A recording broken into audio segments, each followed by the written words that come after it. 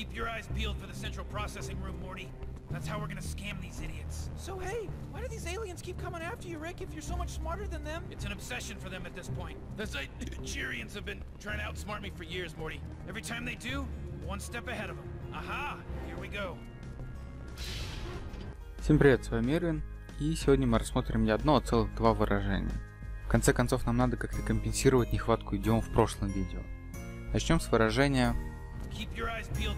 Как мы видим, оно состоит из слова пил, которое мы уже разбирали вдоль и поперек вот в этом видео. Если вы его еще не видели, рекомендую посмотреть.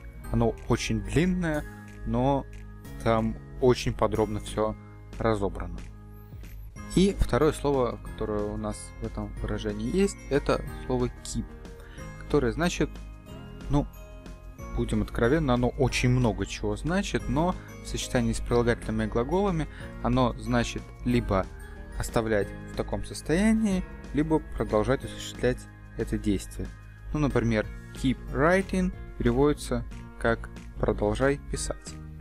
Yield – это отглагольное прилагательное, а не глагол, поэтому выражение keep your eyes peeled можно дословно перевести как оставь свои глаза очищенными.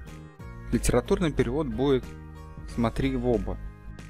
Вроде бы ничего сложного, но если мы добавим предлог for, то есть для чего или ради чего, то оставить перевод «смотри в оба» будет довольно сложно, поскольку в этом выражении невозможно добавить предлог. Поэтому обычно, если у нас стоит предлог for, вся фраза переводится как «высматривай» или «выискивай». В некоторых случаях можно перевести как «ищи», но нужно понимать, что это не то «ищи», которое look for, это то «ищи», которое keep your eyes peeled. Вторая фраза попроще, потому что имеет прямой аналог в русском языке. Она значит быть на шаг впереди. Step значит шаг, а также ступенька. Если это глагол, то он значит наступать или шагать. Помимо этого, если он стоит перед членом семьи, то он дает значение что-то вроде не полностью родной.